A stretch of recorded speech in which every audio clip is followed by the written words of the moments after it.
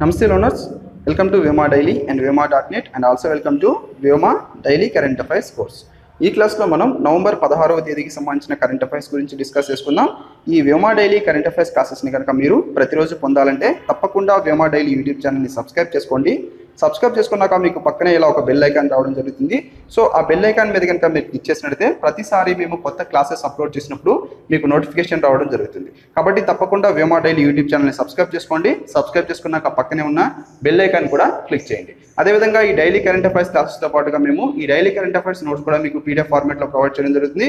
కాబట్టి దానికి సంబంధించిన లింక్ కూడా మేము ఈ వీడియో కింద డిస్క్రిప్షన్లో ప్రొవైడ్ చేస్తున్నాం. కాబట్టి ఆ లింక్ క్లిక్ చేసి మీరు ఈ డైలీ కరెంట్ అఫైర్స్ నోట్స్ కూడా పీడిఎఫ్ ఫార్మాట్లో డౌన్లోడ్ చేసుకొని చదువుకోవచ్చు. అదేవిధంగా మీకు వ్యూమా డాట్ నెట్ వెబ్సైట్లో కనుక వెళ్ళినట్టయితే అక్కడ కూడా మేము ఈ డైలీ కరెంట్ అఫైర్స్ ఎప్పటికప్పుడు అప్డేట్ చేయడం జరుగుతుంది. కాబట్టి మీరు ఈ డైలీ కరెంట్ అఫైర్స్ అక్కడి నుంచి కూడా ఫాలో అవ్వచ్చు. అదేవిధంగా మీకు వ్యూమా ఆన్లైన్ కోచింగ్ కూడా అందుబాటులోకి తీసుకురావడం జరిగింది. దీనికి సంబంధించి ఏబిపిఎస్సికి టీఎస్పీఎస్సికి సంబంధించి group one group two group three group four అదేవిధంగా జనరల్ స్టడీస్కి సంబంధించిన జేఎల్కి డిఎల్కి సంబంధించిన కోర్సెస్ మొత్తం కూడా మీకు ఆన్లైన్లో ప్రొవైడ్ చేయడం జరుగుతుంది. కాబట్టి వీటికి సంబంధించిన లింక్స్ కూడా మేము ఈ వీడియో కింద డిస్క్రిప్షన్లో ప్రొవైడ్ చేస్తున్నాం. కాబట్టి ఆ లింక్స్ క్లిక్ చేసి మీరు ఫాలో అవ్వచ్చు. లేదా వేమా డాట్ నెట్ వెబ్సైట్ కనుక మీరు అక్కడ వెళ్ళినట్లయితే ఈ డీటెయిల్స్ అన్ని కూడా మీకు అక్కడ క్లియర్గా ఇవ్వడం జరుగుతుంది. సో ఏ కోర్సులో ఏ సిలబస్ కవర్ చేస్తారు అదేవిధంగా మీకు ఏ లెక్చరర్ వస్తారు అదేవిధంగా మీకు శాంపిల్ వీడియోస్ కూడా అక్కడ మేము ప్రొవైడ్ చేయడం జరిగింది. ఆ శాంపిల్ వీడియోస్ని చూసి మీరు ఈ కోర్సు క్వాలిటీని మొత్తాన్ని కూడా డిసైడ్ అవ్వచ్చు. అదేవిధంగా మీకు ఏదైనా డౌట్స్ ఉన్నా సరే మీకు అక్కడ మొబైల్ నెంబర్స్ కూడా ఇవ్వడం జరుగుతుంది. కాబట్టి ఆ మొబైల్ నెంబర్స్ కాల్ చేసినట్లయితే మీ డౌట్స్ మొత్తం కూడా క్లారిఫై చేయడం జరుగుతుంది. అదేవిధంగా మీకు వ్యోమా ఆన్లైన్ ఎగ్జామ్స్ కూడా అందుబాటులో ఉన్నాయి. ఈ ఆన్లైన్ ఎగ్జామ్స్కి అదేవిధంగా ఈ ఆన్లైన్ కోచింగ్ అన్నిటికి సంబంధించిన లింక్స్ మేము ఈ వీడియో కింద డిస్క్రిప్షన్లో ప్రొవైడ్ చేస్తున్నాం. కాబట్టి ఆ లింక్స్ క్లిక్ చేసి మీరు ఆన్లైన్ కోచింగ్ అయినా ఆన్లైన్ ఎగ్జామ్స్ అయినా అదే ఫాలో అవ్వచ్చు. సో ఈ రోజు కరెంట్ అఫైర్స్ చూసినట్లయితే మొదటిది వరంగల్లో కుటుంబ న్యాయస్థానాన్ని రిమోట్తో హైకోర్టు నుంచి ప్రారంభించిన ప్రధాన న్యాయమూర్తి జస్టిస్ రాధాకృష్ణ. సో మన ఆంధ్రప్రదేశ్ తెలంగాణ ఉమ్మడి హైకోర్టు న్యాయమూర్తి అయిన జస్టిస్ రాధాకృష్ణన్ తెలంగాణలోని వరంగల్లో కుటుంబ న్యాయస్థానాన్ని రిమోట్ సహాయంతో ప్రారంభించడం జరిగింది. న్యాయస్థానం వచ్చేసి కుటుంబ న్యాయస్థానం. ఇది ఏం చేస్తుందంటే ఈ కుటుంబ సభ్యులు ముఖ్యంగా మనం దంపతులను తీసుకున్నాడంటే భార్యాభర్తల మధ్య తలెత్తే మనస్పర్ధలు ఏవైతే ఉంటాయో వీటికి సంబంధించిన కేసుల్ని ఇది విచారణ చేయడం జరుగుతుంది. దీన్ని మొత్తం ముప్పై ఐదు లక్షల వ్యయంతో వరంగల్ జిల్లా హైకోర్టు ఆవరణలో దీన్ని నిర్మించడం జరిగింది. నెక్స్ట్ మనం చూసినట్లయితే ఇది న్యూస్లో రావడం జరిగింది. ప్రపంచ బిలియర్స్ ఛాంప్ పంకజ్ ఇతను ఇరవై ఇరవై ఇరవయవ ప్రపంచ టైటిల్ని గెలుచుకోవడం జరిగింది. సో ప్రపంచ బిలియర్స్ ఛాంపియన్షిప్లో ఇరవయవ టైటిల్ని సొంతం చేసుకున్న పంకజ్ అద్వానీ. ప్రపంచ బిలియర్డ్స్ ఛాంపియన్షిప్లో ఇరవయవ సొంత ఇరవయవ టైటిల్ని సొంతం చేసుకున్న పంకజ్ అద్వానీ. ఇతను సొంతం చేసుకుంది వచ్చేసి ఐబిఎస్ఎఫ్ ప్రపంచ బిలియర్డ్స్ నూట యాభైవ ఫార్మేట్లో ఇతను ఈ టైటిల్ని సొంతం చేసుకోవడం జరిగింది. ఇతను తన ప్రత్యర్థి అయిన నేత్ వేపు ఇతను వచ్చేసి మయన్మార్కి చెందిన వ్యక్తి ఇతని మీద ఫైనల్లో గెలిచి ఇరవైవ టైటిల్ని సొంతం చేసుకోవడం జరిగింది. నెక్స్ట్ మనం చూసినట్లయితే ఇది రైతు బంధు పథకం ఏదైతే ఉందో తెలంగాణ రాష్ట్రం ప్రారంభించిన రైతు బంధు పథకం. దీనికి సంబంధించి న్యూస్ రావడం జరిగింది. ఇది ఆన్లైన్లో సరిగ్గా వర్కౌట్ లేదని చెప్పేసి దీని గురించి న్యూస్ రావడం జరిగింది. సో ఈ రైతు బంధు పథకం అనేది మనకి చాలా ఇంపార్టెంట్ ఈ రైతు బంధు పథకం దీన్ని ఇంగ్లీష్లో ఫ్రెండ్ ఆఫ్ ఫార్మర్స్ అంటారు. దీన్ని స్టార్ట్ చేసిన రాష్ట్రం తెలంగాణ ప్రభుత్వం దీన్ని ప్రారంభించడం జరిగింది. ఇది దేనికంటే ఈ పథకం కింద వ్యవసాయ ఉత్పత్తి మరియు ఉత్పాదకతని పెంచడం కోసంగా రైతులు ప్రత్యక్షంగా ఆర్థిక సహాయాన్ని ప్రతి సంవత్సరం రెండు సార్లు ఈ పథకం కింద పొందడం జరుగుతుంది. సో ఈ తెలంగాణ ప్రభుత్వం సంవత్సరానికి రెండు సార్లు రైతులకి ఎనిమిది వేల రూపాయలు ఒక్కొక్కసారికి నాలుగు వేల చొప్పున ఎనిమిది వేల రూపాయలు ఈ ఆర్థిక సహాయాన్ని తెలంగాణ ప్రభుత్వం రైతులకి అందించడం జరుగుతుంది ఈ పథకం కింద. సో ఈ పథకంలో మొత్తం మనం చూసినట్లయితే ప్రతి సంవత్సరానికి ఒక ఎకరానికి ఎనిమిది వేల చొప్పున ఋతుపవనాలు అంటే మాన్సూన్ సీజన్లో ఒకసారి అదేవిధంగా రబీ సీజన్లో ఒకసారి. నాలుగు వేలు నాలుగు వేలు చొప్పున సంవత్సరానికి రెండు సార్లు మొత్తం ఎనిమిది వేలు ఈ రైతులకి ప్రత్యక్షంగా ఆర్థిక సహాయం కోసంగా అందించడం జరుగుతుంది. అదేవిధంగా మనం చూసినట్లయితే తెలంగాణ రాష్ట్రంలో ఒకటి పాయింట్ నాలుగు రెండు కోట్ల ఎకరాల భూమిని చేపట్టే యాభై ఎనిమిది లక్షల మంది రైతులు ఈ పథకం కింద రైతు బంధు పథకం కింద లబ్ధి పొందుతారని చెప్పేసి తెలంగాణ రాష్ట్ర ప్రభుత్వం తెలపడం జరిగింది. ఈ పథకానికి ప్రత్యేకంగా రెండు వేల పద్దెనిమిది పంతొమ్మిది బడ్జెట్లో తెలంగాణ రాష్ట్ర ప్రభుత్వం పన్నెండు వేల కోట్ల రూపాయలని కూడా కేటాయించడం జరిగింది. సో ఈ పథకం చాలా ఇంపార్టెంట్. ఈ పథకంలో రైతు బంధు పథకం ఇది స్టార్ట్ చేసిన రాష్ట్రం తెలంగాణ రాష్ట్రం ఈ పథకం కింద మొత్తం ఎనిమిది వేల రూపాయలు రైతులకి ప్రత్యక్షంగా ఆర్థిక సహాయాన్ని అందించడం జరుగుతుంది ప్రభుత్వం. ఇది ఒకసారి వచ్చేసి నాలుగు వేలు ఋతుపవనాల సమయంలో అంటే మాన్సూన్ సమయంలో రెండోది వచ్చేసి రబీ సీజన్లో.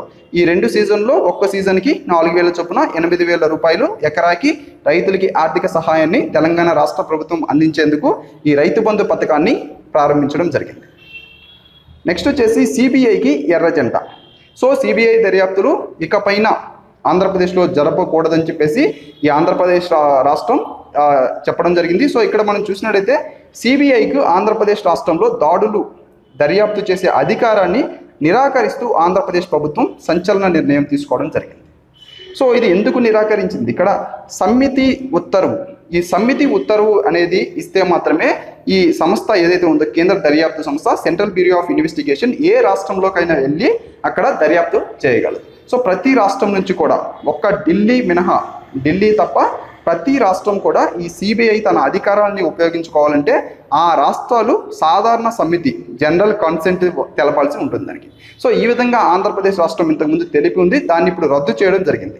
కాబట్టి ఈ సమితి ఉత్తర్వుని ఆంధ్రప్రదేశ్ రాష్ట్ర ప్రభుత్వం ఉపసంహరించుకుంది కాబట్టి ఇక్కడ నుంచి ఈ కేంద్ర దర్యాప్తు సంస్థ అయిన సిబిఐ ఆంధ్రప్రదేశ్ రాష్ట్రంలో ఎక్కడ ఎవరి మీద దర్యాప్తు చేసేదానికి అవకాశం లేదు.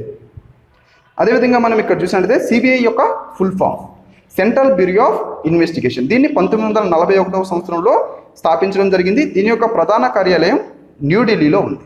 దీని యొక్క ప్రస్తుత డైరెక్టర్ వచ్చేసి మన్యం నాగేశ్వరరావు. ఇతను ఇంటరిమ్ డైరెక్టర్ అదేవిధంగా ఇతకు ఇంతకు ముందు వచ్చేసి దీనికి మాజీ డైరెక్టర్ అలోక్ వర్మ. లేటెస్ట్గా మనం చూసినట్లయితే కేంద్ర ప్రభుత్వం అలోక్ వర్మని సెలవులో పంపించి డైరెక్టర్ ఇంటరిమ్ డైరెక్టర్గా మన్యం నాగేశ్వరరావుని ఏర్పాటు చేయడం జరిగింది. అదేవిధంగా దీని యొక్క special director central bureau of investigation యొక్క స్పెషల్ డైరెక్టర్ రాకేష్ అస్తానా ఈ సెంట్రల్ బ్యూరో ఆఫ్ ఇన్వెస్టిగేషన్ అనేది పర్సనల్ పబ్లిక్ ఫిర్యాదు మరియు పెన్షన్ల మంత్రిత్వ శాఖ పరిధిలో ఇది పనిచేయడం జరుగుతుంది. సెంట్రల్ బ్యూరో ఆఫ్ ఇన్వెస్టిగేషన్ ఎవరి పరిధిలో పనిచేస్తుంది? పర్సనల్ పబ్లిక్ ఫిర్యాదు మరియు పెన్షన్ల మంత్రిత్వ శాఖ పరిధిలో ఇది పనిచేస్తుంది. దీని యొక్క ప్రస్తుత డైరెక్టర్ ఎవరు? Manyam Nageswaram special director Rakesh Asthana. దీని యొక్క ప్రధాన కార్యాలయం ఎక్కడుంది? న్యూఢిల్లీలో ఉంది. నెక్స్ట్ వచ్చేసి ప్రకాశంలో ప్రకాశంలో భారీ పరిశ్రమ. ఆంధ్రప్రదేశ్ రాష్ట్రంలోని ప్రకాశం జిల్లాలో భారీ పరిశ్రమ ఏర్పాటు చేస్తున్నట్టుగా ఈ న్యూస్ ఆర్టికల్ రావడం జరిగింది. సో ఇక్కడ మనం చూసినట్లయితే ఆంధ్రప్రదేశ్ రాష్ట్రంలోని ప్రకాశం జిల్లాలో ఇరవై ఒక్క వేల ఆరు వందల కోట్లతో రెండు వేల ఎకరాల్లో పేపరు అదేవిధంగా టిష్యూ ఇండస్ట్రీ ఏర్పాటు చేస్తున్నట్టుగా మనకి సమాచారం రావడం జరిగింది. సో ఇక్కడ మనం చూసినట్లయితే ఈ సంస్థని ఏర్పాటు చేస్తుంది. దీన్ని ఏర్పాటు చేస్తుంది ఇండస్ట్రీని ఏర్పాటు చేస్తుంది వచ్చేసి ఇండోనేషియాకి ఇండోనేషియా దేశానికి చెందిన సినర్ మాస్ గ్రూప్. దీన్ని ఏర్పాటు చేయడం జరుగుతుంది. సో దీనికంటే ముందు మనం చూసినట్లయితే అనంతపురం జిల్లాలో పదమూడు వేల కోట్ల పెట్టుబడితో ఏర్పాటు చేస్తున్న కియో మోటార్స్ మన ఆంధ్రప్రదేశ్ రాష్ట్రంలో అతిపెద్ద భారీ పెట్టుబడి సంస్థ అని మనం చెప్పుకోవచ్చు. సో దీని తర్వాత ఈ ఇండోనేషియాకు చెందిన సినర్ మాస్ గ్రూప్ ఏర్పాటు చేస్తున్న ఈ పేపరు ఇండస్ట్రీ ఏదైతే ఉందో ఆంధ్రప్రదేశ్లోని ప్రకాశం జిల్లాలో ఇది రెండవ అతిపెద్ద ఇండస్ట్రీ అని మనం చెప్పుకోవచ్చు. అదేవిధంగా ఆంధ్రప్రదేశ్ ముఖ్యమంత్రి చంద్రబాబు నాయుడు ఆంధ్రప్రదేశ్ గవర్నర్ ఈఎస్ఎల్ నరసింహన్ ఆంధ్రప్రదేశ్ రాజధాని అమరావతి ఆంధ్రప్రదేశ్లో ఉన్న ముఖ్యమైన ఉద్యానవనాలు. Shri Venkateswara national park Rajiv Gandhi national park అదేవిధంగా పాపికొండ నేషనల్ పార్క్. నెక్స్ట్ వచ్చేసి yes bank chairman Ashok Chawla రాజీనామా చేశారు. ఎస్ బ్యాంక్ యొక్క చైర్మన్ అయిన అశోక్ చావ్లా లేటెస్ట్గా రాజీనామా చేయడం జరిగింది.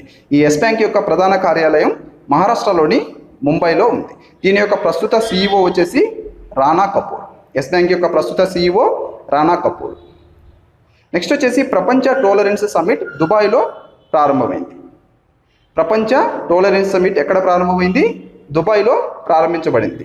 సో ఇది ఈ యునైటెడ్ అరబ్ ఎమిరేట్స్లోని దుబాయ్లో ఈ వరల్డ్ టాలరెన్స్ డేని గుర్తు చేసే రెండు రోజుల సదస్సుని లేటెస్ట్గా ప్రారంభించడం జరిగింది. ఈ సంవత్సరానికి ఈ వరల్డ్ టాలరెన్స్ డే గుర్తు గుర్తు చేసే ఈ సదస్సు ఏదైతే ఉందో దీని యొక్క థీమ్ వచ్చేసి prospering from pluralism embracing diversity through innovation and collaboration theme ఏంటి? Prospering from pluralism embracing diversity through innovation and collaboration మనం ప్రతి సంవత్సరం కూడా నవంబర్ పదహారో రోజున అంటే ఈ రోజున మనం ప్రతి సంవత్సరం కూడా ఈ ప్రపంచ టోలరెన్స్ డేగా జరుపుకోవాలని చెప్పేసి యునెస్కో ప్రకటించడం జరిగింది. ప్రతి సంవత్సరం కూడా నవంబర్ పదహారో తేదీన మనం ప్రపంచ టోలరెన్స్ డేగా జరుపుకోవడం జరుగుతుంది.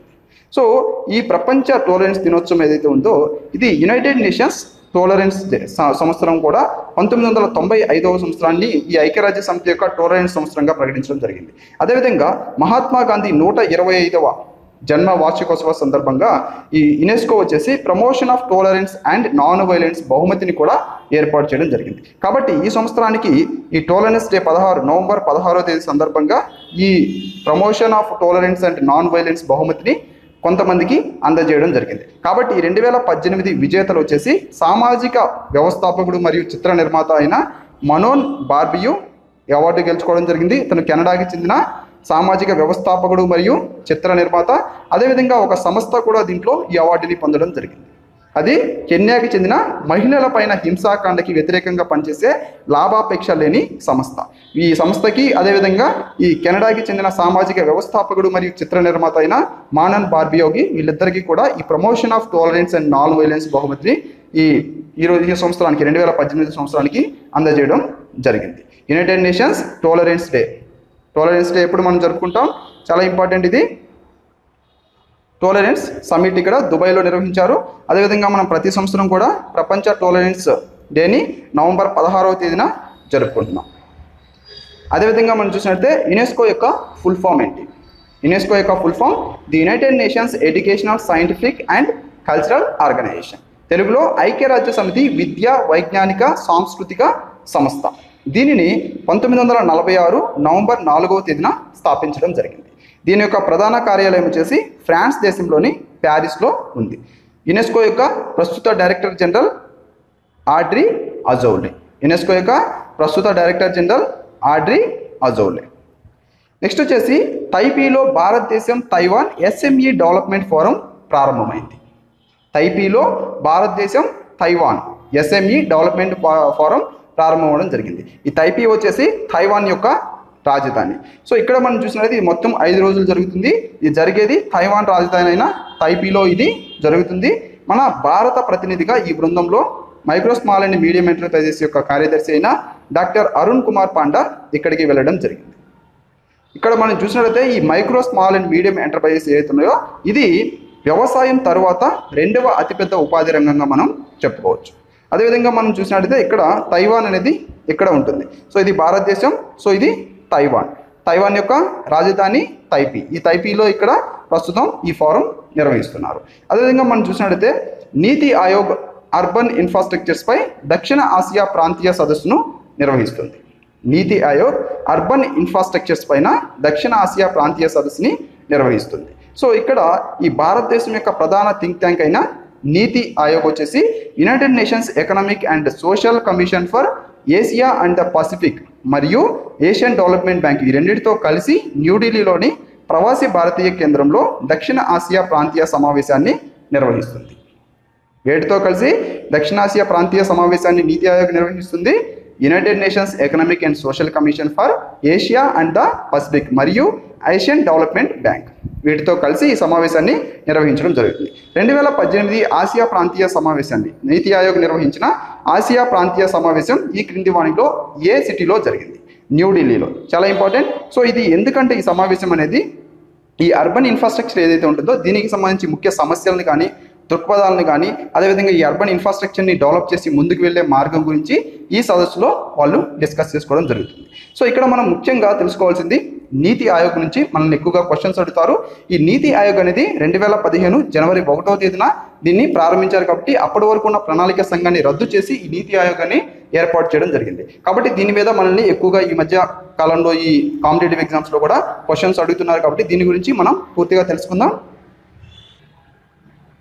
ఈ నీతి ఆయోగ్ యొక్క ఫుల్ ఫామ్ వచ్చేసి national institute for transforming India NITI Aayog యొక్క full form national institute for transforming India ఇది ఈ నేషనల్ ఆయోగ్ యొక్క ఫుల్ ఫామ్ దీన్ని జనవరి ఒకటి రెండు వేల పదిహేనవ తేదీన దీన్ని ప్రారంభించడం జరిగింది. అప్పటి వరకు ఉన్న ప్రణాళిక సంఘాన్ని రద్దు చేసి ఆ స్థానంలో దీన్ని ఏర్పాటు చేయడం జరిగింది.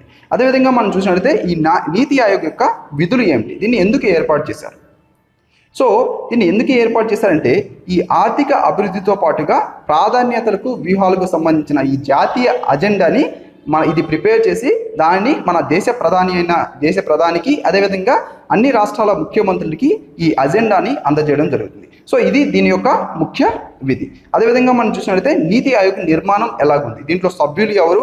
దీని యొక్క చైర్మన్ ఎవరు? దీని యొక్క సీఈఓ ఎవరు? ఇలాంటివి కూడా మనకి చాలా ఇంపార్టెంట్ సో దీంట్లో మనం ముఖ్యంగా గుర్తుపెట్టుకోవాల్సింది మొదటి అధ్యక్షుడు మొదటి ఉపాధ్యక్షుడు అదేవిధంగా ప్రస్తుతం ఉన్న చైర్మన్ ప్రస్తుతం ఉన్న సీఈఓ ప్రస్తుతం ఉన్న ఉపాధ్యక్షుడు అదేవిధంగా మనం చూసినట్లయితే మెంబర్స్ని కూడా గుర్తుపెట్టుకుంటే బెటర్ సో కాబట్టి మనం చూసినట్లయితే ఈ నీతి ఆయోగ్ యొక్క అధ్యక్షుడిగా ప్రధానమంత్రి అప్పుడు ఎవరైతే ప్రధానమంత్రిగా ఉంటారో ఆ ప్రధానమంత్రి ఈ నీతి ఆయోగ్కి అధ్యక్షుడిగా ఉంటారు.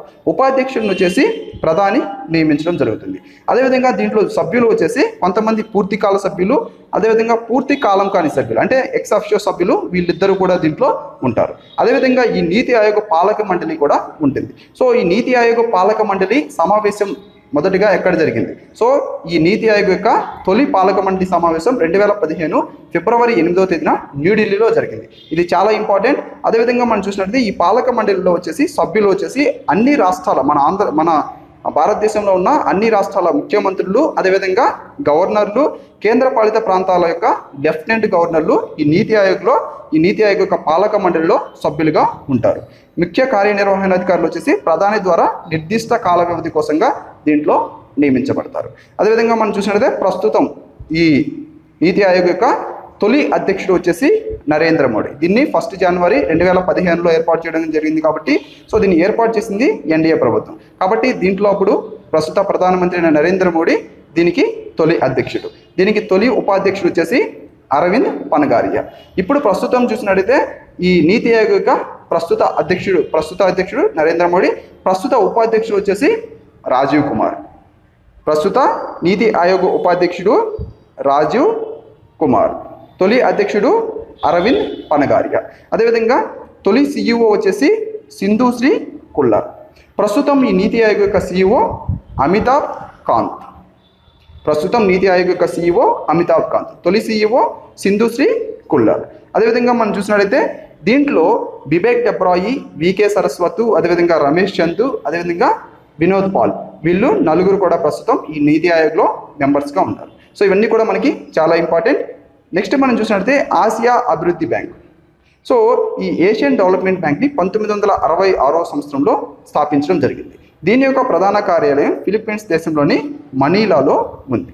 ప్రస్తుతం చూసినట్లయితే ఈ ఏషియన్ డెవలప్మెంట్ బ్యాంక్ యొక్క అధ్యక్షుడు వచ్చేసి తాకిహికో నకావో. ఇతను జపాన్ దేశానికి చెందిన వ్యక్తి. ఇతను ప్రస్తుతం దీనికి తొమ్మిదవ అధ్యక్షుడిగా పనిచేస్తున్నాడు.